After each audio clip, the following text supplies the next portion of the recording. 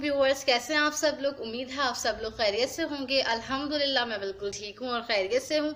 आज मैं जो आपके साथ रेसिपी शेयर करने जा रही हूँ, उसका नाम है कीमा सैंडविच जो कि अक्सर लोगों को बहुत ज़्यादा पसंद होते हैं। बच्चे बहुत शौक से खाते हैं। लंच में स्कूल टाइम पे आप उनको टिफ़िन में ये दे सकते हैं। बहुत ज़्यादा यूनिक और बहुत ज़्यादा अच्छी रेसिपी मैं आपसे शेयर करने जा रही हूँ।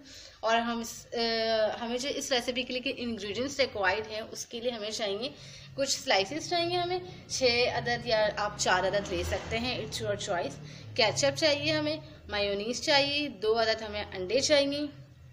हरी मिर्च कीमा जो हम पहले आपको सिखा चुके हैं डिस्क्रिप्शन में इसका लिंक मैं आपको दे दूँगी। हम इसमें वो यूज़ करेंगे और खीरा यूज़ करेंगे। अब हम चलते हैं अपनी रेसिपी की जानब। सबसे पहले हमने जो स्लाइसिस लिए हैं, हमने इसको डीप फ्राई करना है एग में। और जब इसको रोस्ट कर लेंगे, अच्छी तरह फ्राई कर लेंगे तो फिर हम इसको बनाना शुरू करेंगे, हम इसको कैसे बनाएँगे? सबसे पहले हम इसको फ्राई करते हैं एग में। हमने अच्छी तरह फेंट लिया है और अब ये जो स्लाइसिस हैं हम इनको फ्राई करेंगे इस अंडे के साथ। और जब हम फ्राई कर लेंगे तो आगे हम क्या करेंगे ये आपको हम बताते हैं। हमने इसमें घी डाल दिया है और अब हम इसको डिप करेंगे स्लाइसिस को एग के अंदर और फिर इसको फ्राई करेंगे। हमने इसमें डीप कर दिया है। और अब ये फ्राई होगा। और जब ये फ्राई होगा, दोनों साइडों से इस पर कलर आ जाएगा तो हम इसको निकाल लेंगे और इसी तरह करके सारे हमने स्लाइसिस को एग में फ्राई करना है। हमें इसमें, इस कलर जब इसमें दोनों साइडों से इस तरह का कलर आ जाएगा, जैसे कि अभी एक साइड से आ गया हमने दूसरी तरफ़ इसको पलट दिया है, जब ये दोनों साइडों से इस तरह का कलर आ जाएगा तो हम इसको निकाल लेंगे और इसी तरह करके सारे स्लाइसिस को अच्छी तरह फ्राई कर लेंगे एग में। और फिर हम आगे का प्रोसेस बताएँगे कि हमें इसके हमने स्लाइसिस को अच्छी तरह फ्राई कर लिया है। एग में ये बहुत सॉफ्ट है और हर तरह के लोग इसको ईजिली खा सकते हैं। बच्चों को नॉर्मली बहुत पसंद होते हैं। मैं भी बहुत ज़्यादा शौक से खाती हूँ और नॉर्मली हम ब्रेकफास्ट में यही खा लेते हैं क्योंकि बहुत ज़्यादा सॉफ्ट होता है इसका टेस्ट जो होता है बहुत यूनिक होता है। तो अब हमने क्या करना है? हमने स्लाइसिस को हमने फ्राई कर लिया है एग में, हमने एक स्लाइस लेना है। जैसे कि हमने यार फ्राइज स्लाइस ले लिया। अब हमने इसके ऊपर हमने डाला कीमा, ठीक है? ये जो हमने हरी मिर्च का जो हमने कीमा बनाना सिखाया था, ये हमने रखना है पहले यहाँ पे। ये बहुत ज़्यादा यूनिक था। आपको मैं डिस्क्रिप्शन में इसका लिंक दे दूँगी।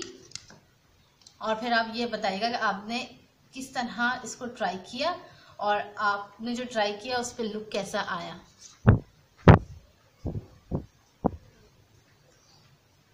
हम ये कीमा इसमें डाल चुके हैं और अब हम इसमें डालेंगे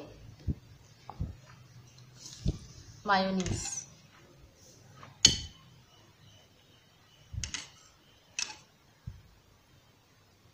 मायोनीज को ऊपर हम लगा देंगे।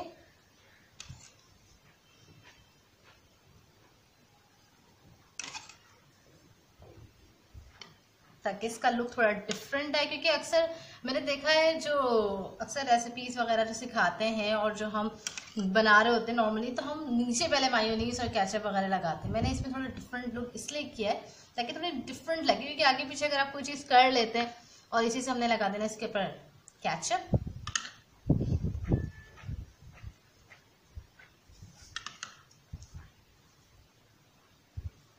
इसके ऊपर हम इसमें लगाएँगे टमाटर। हमने जो हमने जो स्लाइस फ्राई कर ली है, एक में हमने लगाना है कैचअप अच्छी तरह। इसमें एक लगा देंगे हम कैचअप एक साइड पे कैचअप की कोडिंग कर दें दूसरा स्लाइस लेंगे, उसमें हम लगाएँगे मायोनीस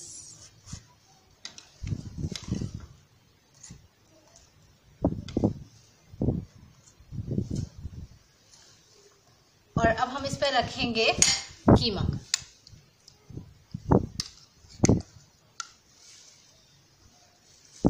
आपकी मर्ज़ी है कैचअप वाले साइड पे कीमा रख लें या मायोनीस वाले साइड पे कीमा रख लें अच्छी तरह।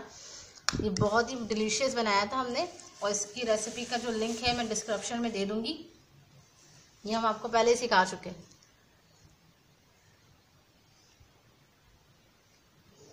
नीचे आएगा। हम इस पर डाल देंगे खीरा।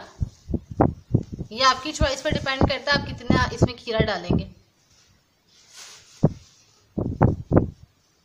और हम इसको कर देंगे ऊपर से कवर